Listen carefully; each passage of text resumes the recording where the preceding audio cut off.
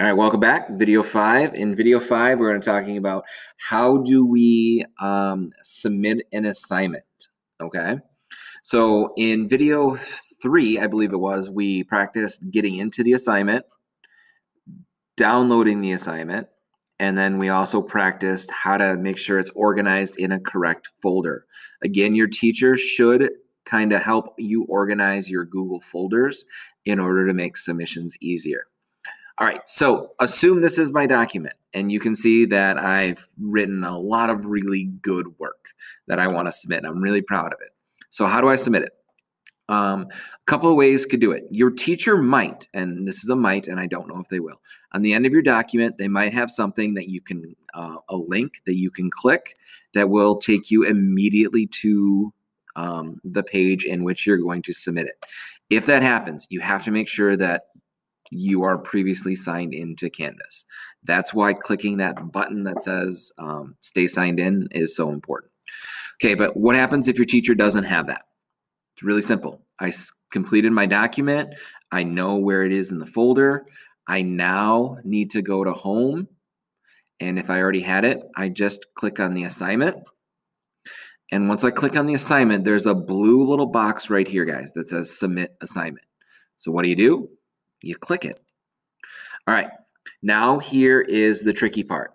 We need to figure out where to find it. You guys are using a Chromebook, and all of your stuff is going to be saved on Google Drive. So we're not going to be using a folder. We're not going to be doing CK12. We are going to be coming over here to Google Drive. And when you click Google Drive, the first time, and I don't know why it says the tool is masquerading. Um, all right, so while I'm as the student view, it's not going to allow me to actually log into Google Drive because it will try to pull up my teacher Google Drive instead of yours. So what will happen, um, I'll just walk you through, is when you click Google Drive, it's going to ask that you give it permission to connect to Google Drive. Um, if you've downloaded any apps, you know what I'm talking about when it says that. Click yes. And once you click yes, all of your Google Drive is going to start to load up here. Okay. On top is going to be your files. So if you have seventh and eighth grade science, that's going to be up there. If you have um, sixth grade ELA, it's going to be up there. You then need to click into the correct um, folder and then select the correct document. And the only thing, and it's hard to see right here, is at the end when you cl uh, click it, there's going to be a button down here that says Submit Assignment. And when you click Submit Assignment, this page is going to change again. Okay. And what it's going to look like, it's going to look very similar to the, um,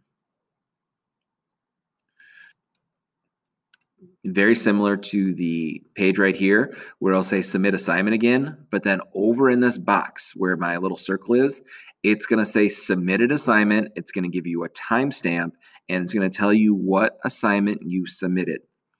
This is the part that I cannot stress enough click on the document you submitted to make sure that it is the correct one. More than a few times, students tend to submit something, think it's the right one, but then they end up submitting a blank document. Your teacher cannot assess a blank document. So, by you, the student, taking 20 seconds to click the document, it will then um, save us a lot of time chasing you down. All right. So, again, big thing you'll have submit assignment. Once you click submit assignment, you'll go to Google Drive. You'll click your get into your folder. You'll click your um, document that you want to submit. Down here, it'll say submit assignment. Click it. It will then, like I said, come back and you will have um, this will show up again. You will have the document that's submitted. Let's say you submit the wrong assignment. This actually is going to switch to resubmit assignment and you can resubmit an assignment. So you can submit 100 assignments if you want to do the same thing. Please don't. But let's say you submit something wrong or you submit a picture and it doesn't show up, you can resubmit it again. Okay?